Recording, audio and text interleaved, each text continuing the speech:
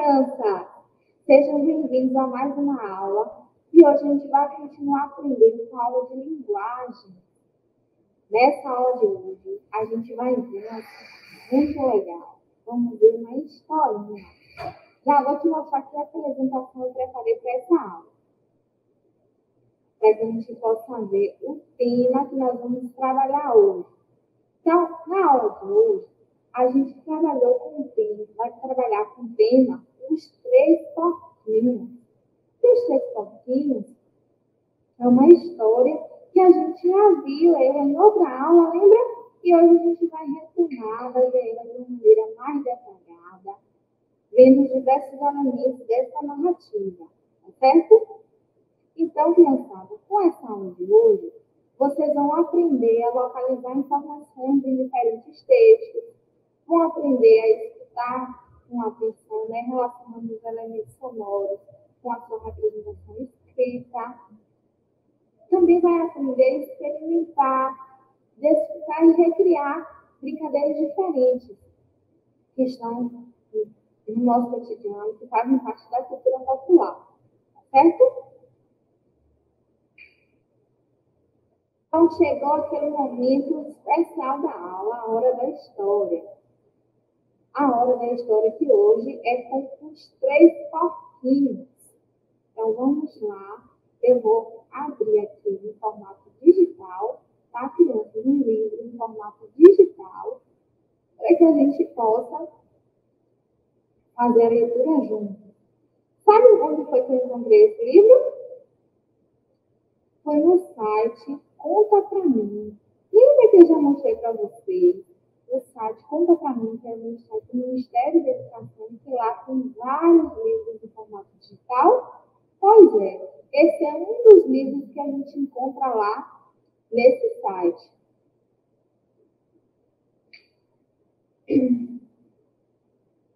Então, a gente vai ter aqui, ó, a capa, os três porquinhos faz parte da coleção de contos de fadas.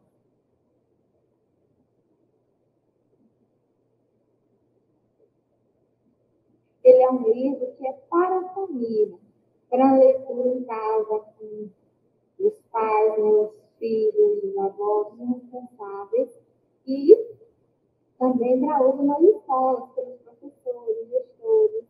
Olha essa cena, é o início da história. Os três porquinhos conversando aqui com a sua mamãe. Vamos ver o que é que eles estão conversando?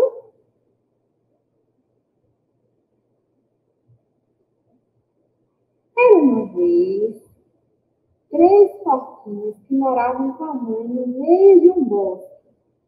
Um belo dia, os irmãos resolveram viver sozinhos, pois já estavam bem grandinhos e independentes.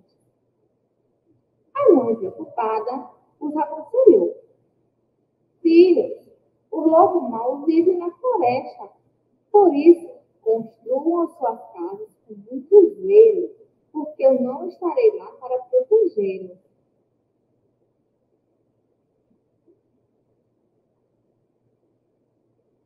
Então, esse aí foi o conselho da mamãe. E lá foram eles, né, construir as suas casas. Os porquinhos escutaram com atenção. Logo em seguida, eles arrumaram suas roupas em uma trouxinha, pegaram um pouco de comida e partiram em busca de um lugar onde ergueriam seus novos lares. Joãozinho casa ficaria perto de um lago. Ela seria de palha. Dessa forma, sobraria muito mais tempo para brincar e pescar.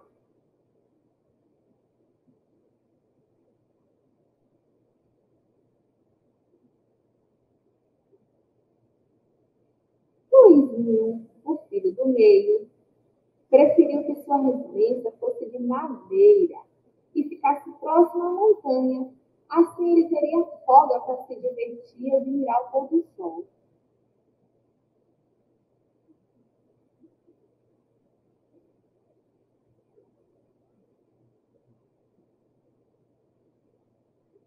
Zezinho, mais velho, resolveu edificar com pedra perto das árvores de sua moradia. E isso porque ele não esqueceu o conselho da sua mãe.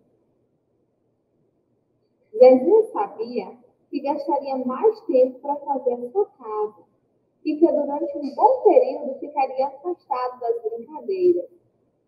Mas ele sabia também que só assim ele estaria seguro contra o lobo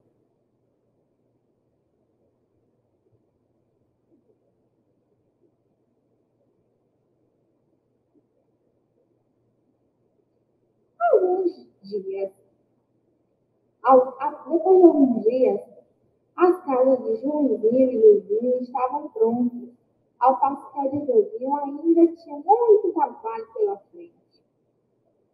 Vamos brincar, Zezinho, disse os irmãos.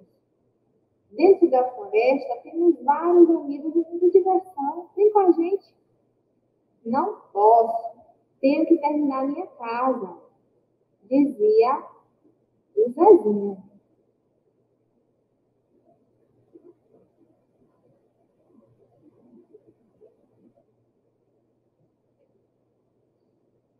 Finalmente, a manhã ensolarada, a residência de pedra estava pronta. Toda bem acabada. E Zezinho já poderia se juntar com seus irmãos nas brincadeiras. Divertindo-se, eles adentraram a floresta. De repente, um ovo mau soltou de trás da árvore.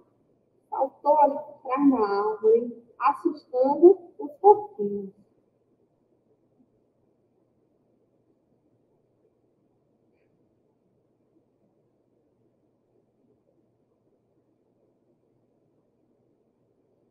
Bom dia, porquinhos gordinhos.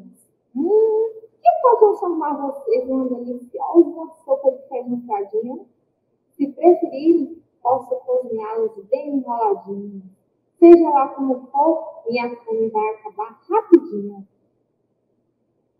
Assustados, os irmãos correram cada um para um lado e foram correndo para os seus lados. O lobo mau foi atrás, aproximando-se primeiro da casa de palha.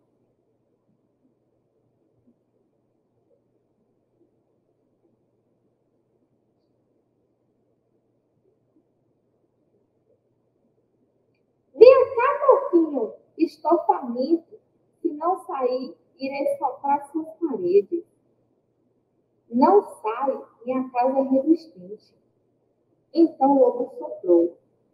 Não foi muito necessário, não foi necessário fazer muito esforço para que as palhas todas voassem pelos ares. Joãozinho correu para a casa do seu irmão meio e o lobo foi atrás. Dois porquinhos são mais saborosos. Abra a porta ou eu vou derrubar tudo.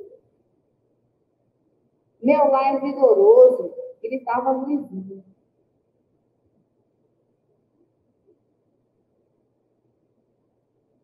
O lobo soprou, soprou. Na terceira vez, todas as madeiras caíram no chão. E os dois porquinhos correram para a casa do irmão mais velho.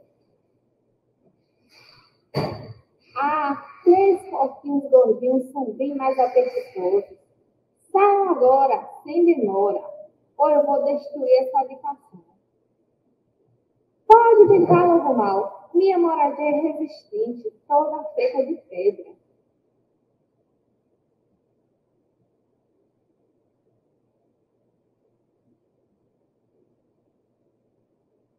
O lobo encheu o peito de ar e deu logo longo suco. Hum, a casa nem se mexeu. Novamente, ele encheu seus pulmões de ar e fez uma verdadeira ventania. Hum. As paredes não se moveram. Ele insistiu outra vez, mas nada aconteceu. E agora? Disse o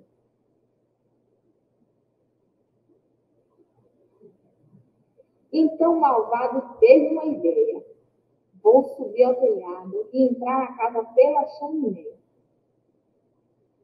Ouvindo o barulho no peito, porquinhos colocaram fogo na lareira, fazendo com que as lavaredas queimassem o rabo do lobo.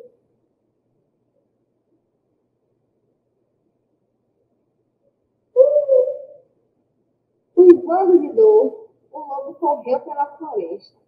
Em pouco tempo já estava muito, mas muito distante. Joãozinho e Luizinho abraçaram o vozinho, que lhes ensinou uma importante lição. É preciso sempre obedecer os conselhos da mamãe.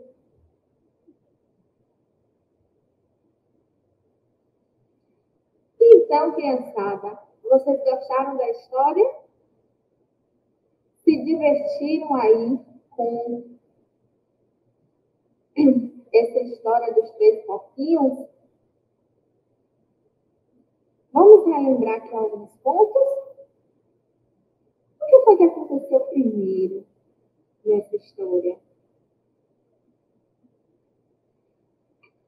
Qual foi o início, né? Aquela parte ali da introdução da história. Foi no momento em que os porquinhos estavam ali conversando com a sua mãe, né? Falando ali sobre ir morar em casas separadas da mãe, cada um morar numa casa. Foi ali aquela situação inicial. E aqui, nesse primeiro, nessa primeira cena, nesse primeiro momento da história, a gente consegue ver algumas informações, como os. A gente ali já fica sabendo que nessa história tem três irmãos: Zezinho, Luizinho e Joãozinho. A gente vê também que tem a personagem que é a Mamãe Pó. A gente vê que a história está acontecendo em um lugar, num espaço, não é isso? É a floresta, onde os povos fizeram isso a casa. A gente vê também o tempo, no decorrer da história, a gente vai ver a passagem de tempo.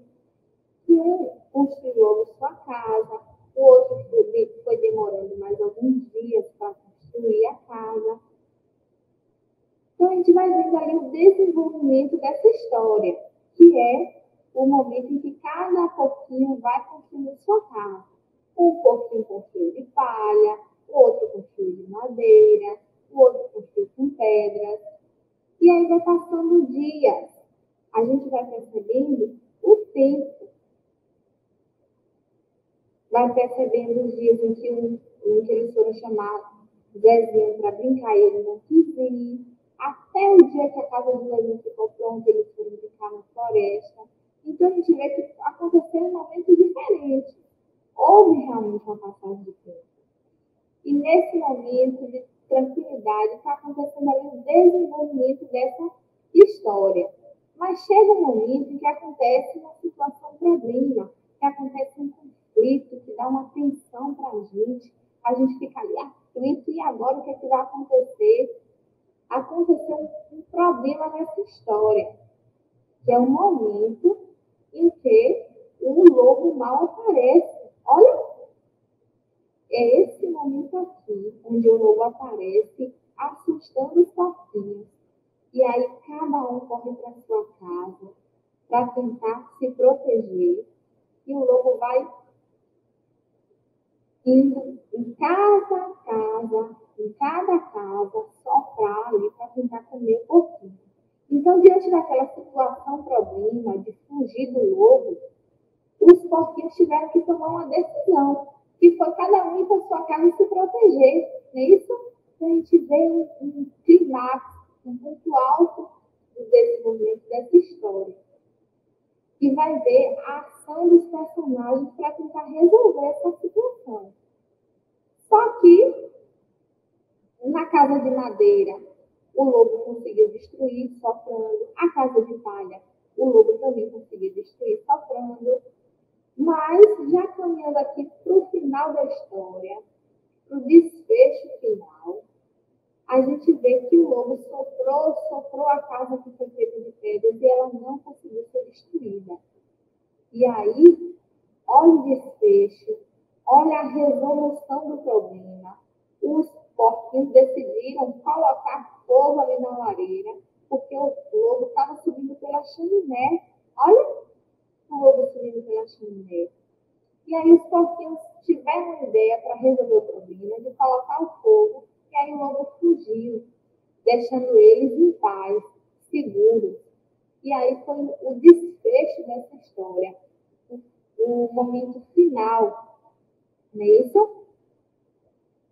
Então, criançada, aqui a gente consegue fazer essa, perceber esse momento da história, o momento do desenvolvimento, ali no meio da história, o momento final, onde tem o desfecho. Conseguimos ver a situação problema, né, aquele ponto alto da história, onde aparece o problema, foi quando o lobo veio assustar os porquinhos. Fomos vendo ali o desfecho, quando foi quando os porquinhos resolveram usar uma estratégia de colocar fogo na chaminé. E vemos ali as passagens de tempo, vemos ali espaço. Já sabemos que essa história aconteceu numa floresta. E agora, criançada, que a gente já tem todas essas informações, eu quero convidar vocês a escrever algumas palavras no caderno que estão relacionadas a essa história, tá certo? Então, pega aí o caderno, a gente vai fazer uma lista com palavras. Então, eu vou precisar que primeiro você faça aí um cabeçalhozinho, colocando a data, colocando, né, primeiro, o nome, o nome da sua escola, se você costuma fazer o cabeçalho assim, então você já tem aí o modelo, já sabe o nome da escola que coloca, coloca ali a data de hoje, coloca uma turma, que é primeiro ano. E embaixo aí, depois de pular uma linha, você coloca aí as palavras que a gente vai mostrar agora. Então, vamos ver aqui, primeiro, essa imagem. O que, que tem nessa imagem? São os personagens da história, não é isso? Os porquinhos. Ó, porquinhos. Qual o som inicial que a gente escuta quando eu falo porquinhos? A gente vai ouvir o som da letra P, é isso? Vamos ver quantas sílabas tem essa palavra? Porquinho. Três sílabas é uma palavra que tem muitas letras, tem sílabas que tem três letras e uma que tem mais de três letras. Vamos contar quantas letras tem nessa palavra? Uma, duas, três, quatro, cinco, seis, sete, oito, nove, dez. Então, uma palavra de dez letras e três sílabas. Olha o som inicial aqui do pó. Agora vamos escrever aqui outra palavra. Olha essa imagem, o que, que ela representa? Uma casa, não é isso? Casa quando eu falo casa, qual é o som inicial que você escuta? Você vê aí o som do K, né? Principalmente o som da vogal A. Você vê um destaque aí da vogal A, K. E você vê esse, essa vogal, o som dessa vogal, no final da palavra também, quando a gente fala casa. Então, é uma vogal, a vogal A está no início dessa palavra. E também está no final. Olha. Vamos ver quantas sílabas tem essa palavra? Quantas vezes você abriu a boca para dizer a palavra casa? Ca.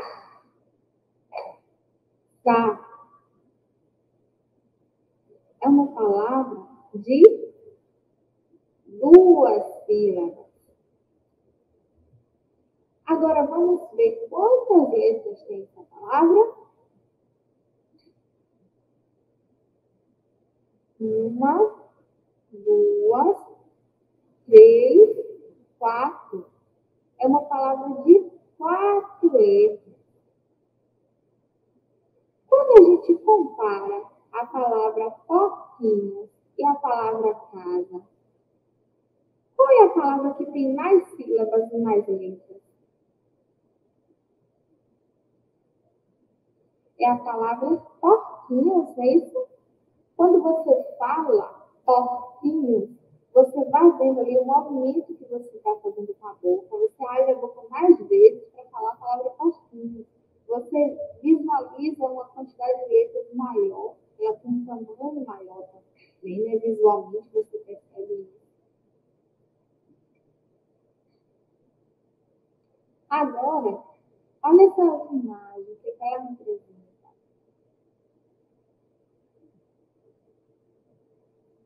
É o lobo, o lobo da história, o lobo mal da história, não é isso? Lobo. Vamos ver quantas vezes a gente abriu a boca para dizer a palavra lobo. Lobo. Duas vezes. E a gente já vê aí que o som inicial é lo. Lo. Você vê aí o som da letra L e também o O, não é isso?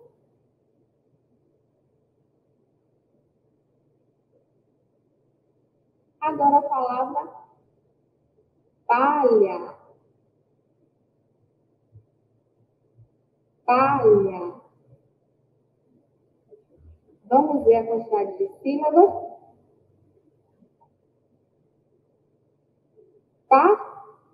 Palha. Duas sílabas.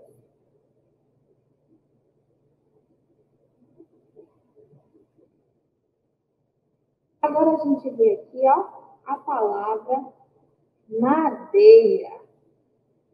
E vê que é uma palavra que tem três sílabas. Madeira. Três sílabas. Quando eu falo madeira,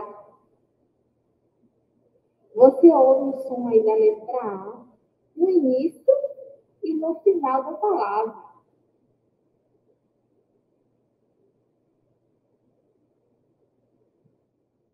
Agora, quando a gente fala tijolo,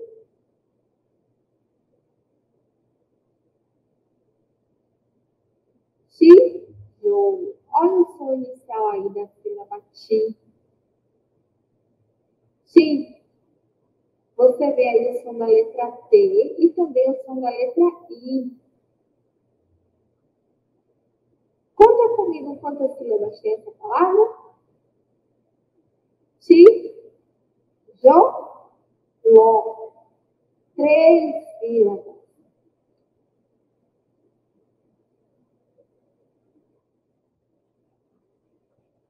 Agora, chaminé. aquela chaminé que o lobo usou, né, para tentar subir ali, para tentar chegar na casa dos porquinhos, mas não fez sucesso. Chaminé. Quando eu falo chaminé, você percebe aí no início da palavra o som da letra X? Chá, chaminé. Você ouve o som da letra X, não é isso? Mas a gente não escreve a letra X a gente está escrevendo aqui as consoantes C e H. Mas elas aqui com a, com a vogal A, né, aqui o C junto com a, com a consoante H e junto com a vogal A, ela está aí produzindo esse som de X. Você vê uma entonação mais forte no final dessa palavra, quando eu falo chaminé. Olha o R aí com som mais forte no final. Isso acontece por causa do acento gráfico que tem aqui na palavra, é o acento agudo, aqui na palavra, no final da palavra, na letra E. Ó, chá, mi, né. é uma palavra que vai ter três sílabas.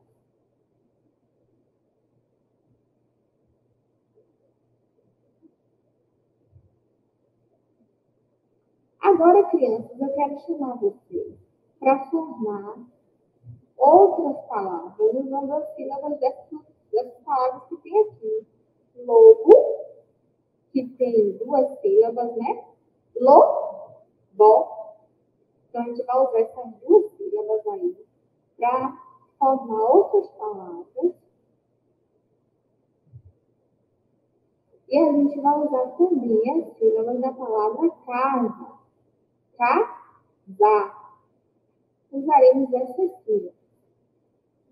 Então, se a gente combinar elas, a gente produz a palavra bolo. Usando as sílabas da palavra lobo, mudando ela de posição, a gente forma outra palavra, que é a palavra bolo. Lobo virou bolo.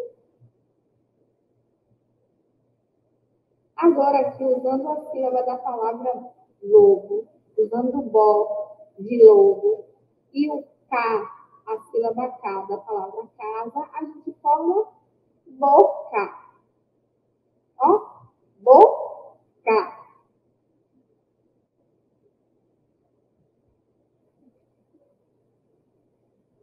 Agora, crianças, a gente ainda consegue formar outras palavras, como calo, quando a gente está usando a sílaba inicial da palavra casa e a sílaba inicial da palavra lobo. Calo. A gente também forma cabo usando a, a sílaba inicial da palavra cá e a sílaba final da palavra lobo. Cabo.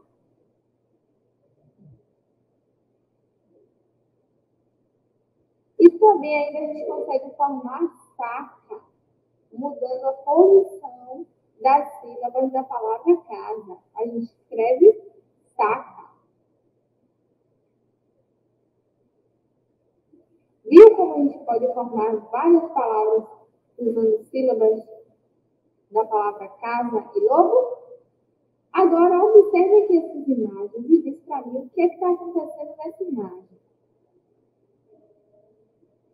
Você vai escrever também aí no seu caderno essa frase, tá certo?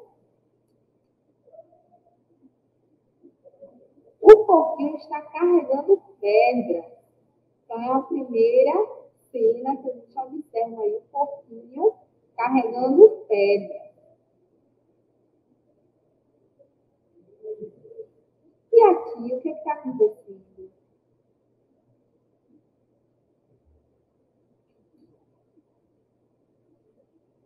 o lobo está soprando a casa, é isso?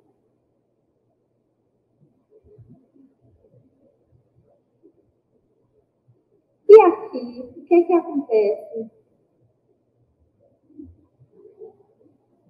O lobo está. O lobo subiu no telhado da casa. Ele está ali subindo no telhado da casa. Agora, criançada, que a gente já trabalhou alguns pontos de linguagem, a gente vai fazer uma atividade física, tá? Então, eu vou chamar para você para assistir um vídeo que mostra uma função que você pode usar para brincar de passear na floresta. Tá nesse link aqui que você acessa no YouTube. Vamos passear na floresta enquanto seu lobo não vem. Vamos passear na floresta enquanto seu lobo não vem. Tá pronto, seu lobo, tá pronto, seu lobo. Estou tomando banho. Seu lobo não pega ninguém. Tá pronto, seu lobo, tá pronto, seu lobo. Estou me enxugando. Seu lobo não pega ninguém. Vamos passear na floresta enquanto seu lobo não vem. Vamos passear na floresta enquanto seu lobo não vem. Tá pronto, seu lobo, tá pronto, seu lobo. Estou vestindo as meias. Seu lobo não pega ninguém. Tá pronto, seu lobo, tá pronto, seu lobo. Estou vestindo a cueca. Seu lobo não pega ninguém. Vamos passear na floresta enquanto seu lobo não vem. Vamos passear na floresta enquanto seu lobo não vem. Tá pronto, seu lobo, tá pronto, seu lobo. Estou vestindo a calça. Seu lobo não pega ninguém. Tá pronto, seu lobo, tá pronto, seu lobo. Estou vestindo a camisa. Seu lobo não pega ninguém. Vamos passear na floresta enquanto seu lobo não vem. Vamos passear na floresta enquanto seu lobo não vem. Tá pronto, seu lobo, tá pronto, seu lobo. Estou calçando sapatos. Seu lobo não pega ninguém. Tá tá. Estou colocando cinto. Seu lobo não pega ninguém. Vamos passear na floresta enquanto seu lobo não vem. Vamos passear na floresta enquanto seu lobo não vem. Tá pronto, seu lobo, tá seu lobo. Estou escovando os dentes. Seu lobo não pega ninguém. Tá pronto, seu lobo, tá pronto, seu lobo. Estou penteando os cabelos. Seu lobo não pega ninguém. Vamos passear na floresta enquanto seu lobo não vem. Vamos passear na floresta enquanto seu lobo não vem. Tá pronto, seu lobo, tá pronto, seu lobo. Estou colocando a gravata. Seu lobo não pega ninguém. Tá pronto, seu lobo, tá pronto, seu lobo. Estou passando perfume. Seu lobo não pega ninguém. Tá pronto, seu lobo, tá pronto, seu lobo. Agora eu já estou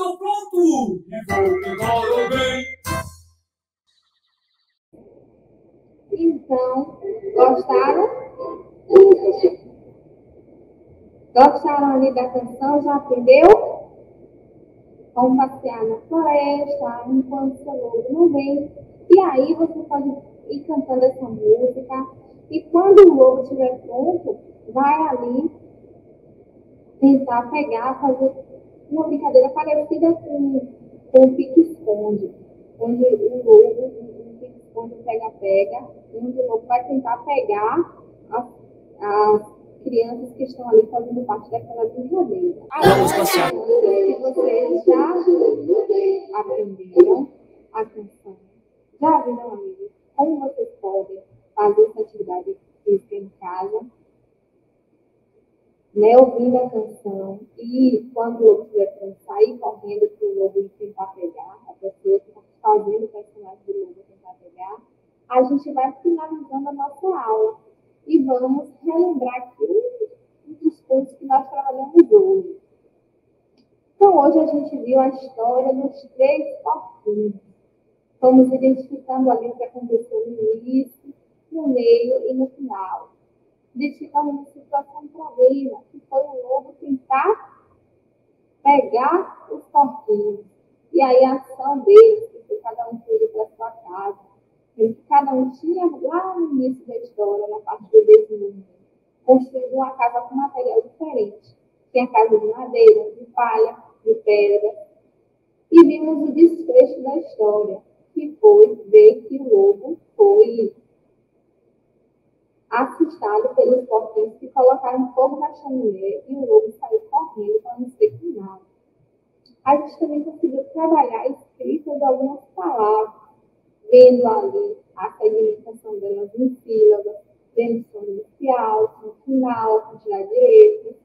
E a gente também viu que, usando as sílabas de uma palavra, a gente pode escrever outra, fazendo combinações. Você, inclusive, aprendeu uma brincadeira nova, uma música divertida para você brincar em casa com os coleguinhas. Espero que você tenha gostado bastante dessa aula. Deixe um comentário aqui para saber o que você mais gostou da aula de hoje. Curte o vídeo para a gente saber que você gostou. E agora eu vou mandar aquele beijo bem grande, bem gostoso aí no seu coração. Te dar aquele abraço bem apertado. Porque agora a gente só vai se ver na próxima aula. Acabou, mas não fica triste não. Logo mais a gente se encontra em outra aula.